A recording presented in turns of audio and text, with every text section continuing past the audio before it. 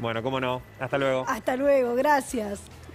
Bueno, y ahora sí, ¿eh? nos vamos a meter con este tema porque ustedes saben que el gobierno decidió este decidió que no se puede exportar maíz hasta marzo. ¿Entendieron? O sea, es prácticamente como si fuese una nueva, una reedición de la 125. No sé, no se puede exportar maíz hasta marzo. Daniel Pellegrina, el presidente de la Sociedad Rural Argentina, está aquí con nosotros. Daniel, bueno, ¿qué, es lo que se supone, lo que, lo que van a hacer? ¿Cuál es la respuesta que va a hacer el campo? Sé que en estas semanas van a tener reuniones este, de distintas asociaciones para ver cuáles son los pasos a seguir, pero ¿cómo les cayó esta noticia y cuál es la repercusión que va a tener en la economía real?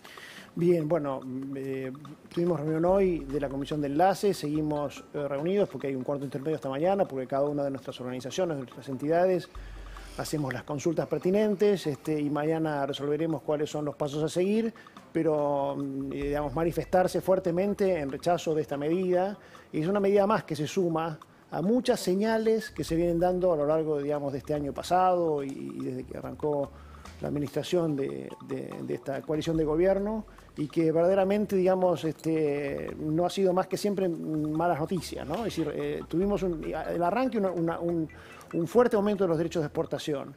Después, distintos ataques contra la propiedad privada, Vicentín, este, las intrusiones de campos, este, eh, después, toda una parafernalia de leyes que de alguna manera también limitan la propiedad, ley de fuegos, eh, humedales, eh, digamos, muchos incluso a, nivel de las intendencias han empezado con regulaciones para las aplicaciones fitosanitarios, todas medidas que de alguna manera van restringiendo, van limitando la producción y el derecho privado. Y especialmente, digamos, contradictorias las señales desde un país que lo que necesita es todo lo contrario. El único sector que le está dando siempre, digamos, aliento a, los dólares que necesitan ingresar en la economía eh, es el campo, 65% de las divisas ingresan por el campo, este, además de que damos mucho empleo, que es lo que necesita Argentina para salir adelante, y en especial, digamos, en estos momentos tan duros después de la, de la de, las restricciones al libre tránsito, digamos, a la, actividad como fue, digamos, toda esta cuarentena tan larga que todavía seguimos, pero que el campo ha podido seguir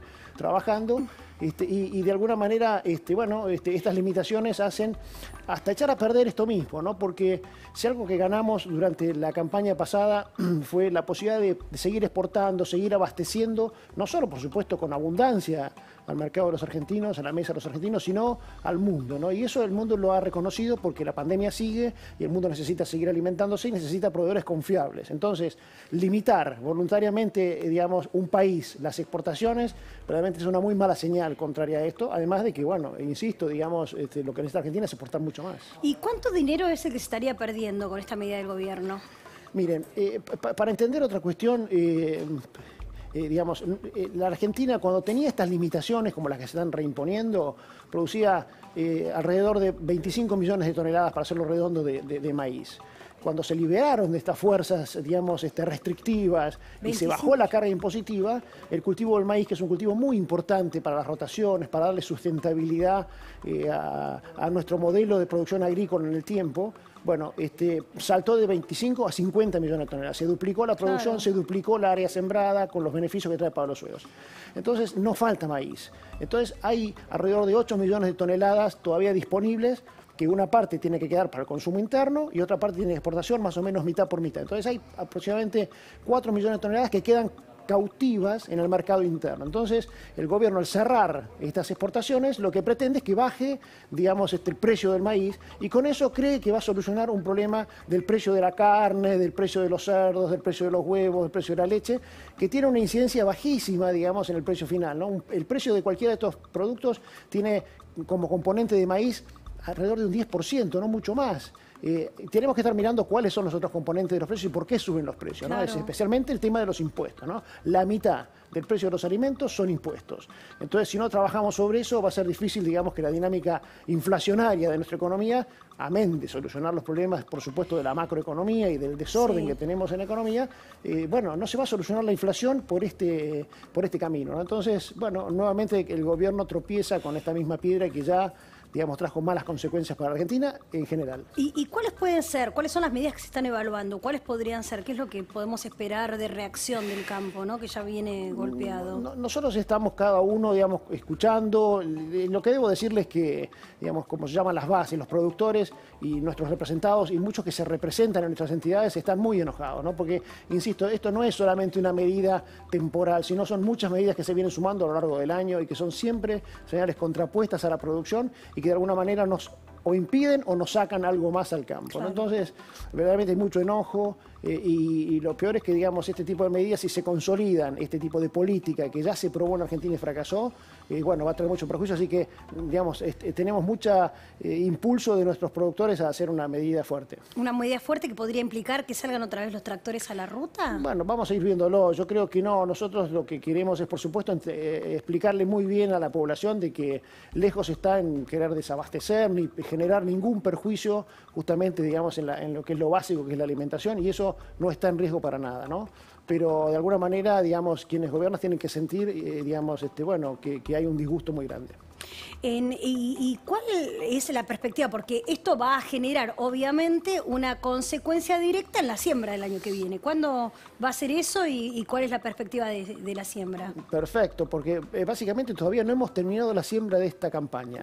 Eh, hay todavía un 30% del maíz que todavía no se ha podido sembrar por culpa de la sequía este, y bueno, y por culpa justamente, digamos, de que se viene entonces prolongando todo esto. Así que, digamos, todavía falta eso, pero además estas señales hacia el futuro y hacia digamos, las inversiones por realizarse son muy malas noticias. Entonces, yo digo, el año que viene, ya hoy las decisiones están tomadas y básicamente los insumos comprados, así que el que tenga la semilla, si puede y llueve, la va a tratar de sembrar.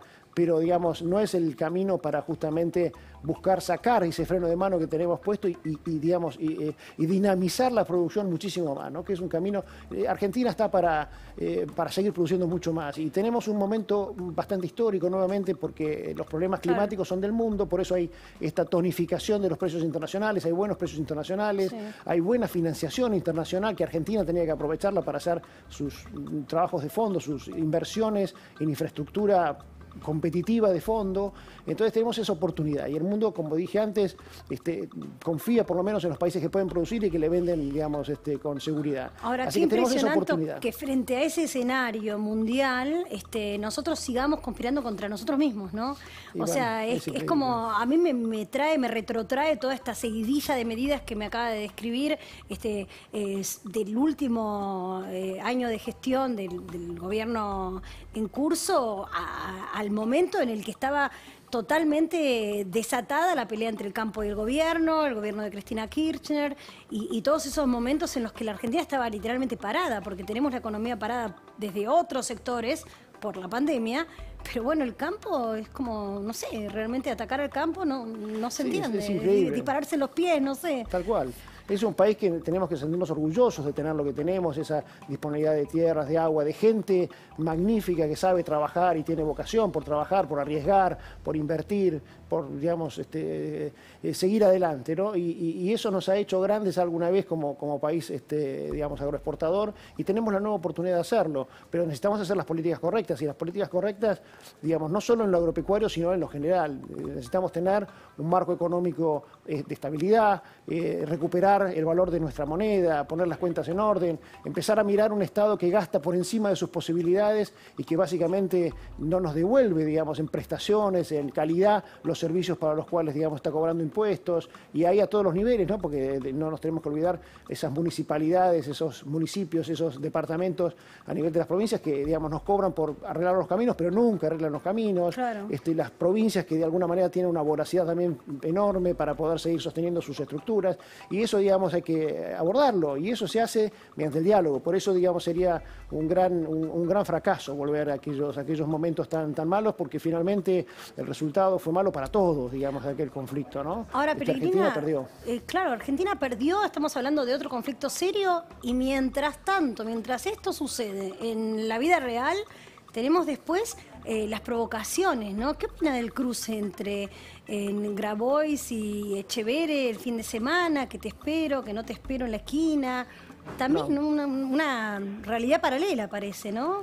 Verdaderamente, digamos, hay agentes permanentemente de las divisiones y de las grietas este, y en eso el kirchnerismo, bueno, este, ha sido experto en general relatos y divisiones. Entonces, eh, bueno, hay que alejarse de todo esto y verdaderamente, bueno, tienen que escuchar verdaderamente a los que queremos contribuir, digamos, con el desarrollo, el crecimiento de Argentina, el campo, digamos, con, su modelo de desarrollo territorial, eh, digamos, de generación, que lo que hace falta en Argentina, más mano de obra, transformando nuestros productos localmente. El maíz es un producto, por eso es tan, duro, digamos. Esto es un producto que eh, si uno tiene que fletarlo a los puertos, eh, digamos, es muy costoso, ¿no? Entonces, transformarlo localmente es un beneficio enorme, ¿no?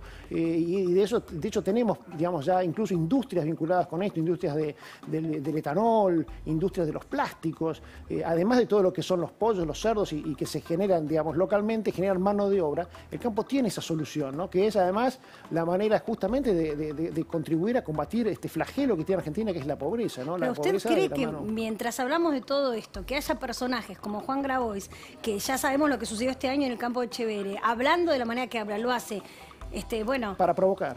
Pero para provocar con, con, una orden, respondiendo al espacio político este, respondiendo a lo que se espera de él? O sea, ¿cuál sería el sentido? No, no, lo sé, lo que nosotros vemos es que, digamos, hay, eh, digamos, quienes están con esa misión de, enojarnos, de provocar, este, y nosotros, lejos de eso, lo que queremos es dedicar cada vez más tiempo a producir, ¿no? Pero tenemos que tener las condiciones, este, especialmente las señales eh, por las cuales, digamos, la economía se mueve y, por supuesto, nosotros también, eh, muy clara, ¿no? Y hasta ahora hemos recibido señales muy contraproducentes. Pellegrina, muchísimas gracias. No, gracias a ustedes, por supuesto. bueno, nos vamos al corte, en un ratito nos metemos en el caso de Carolina Píparo. Hay novedades de último momento y te las vamos a estar contando después del corte.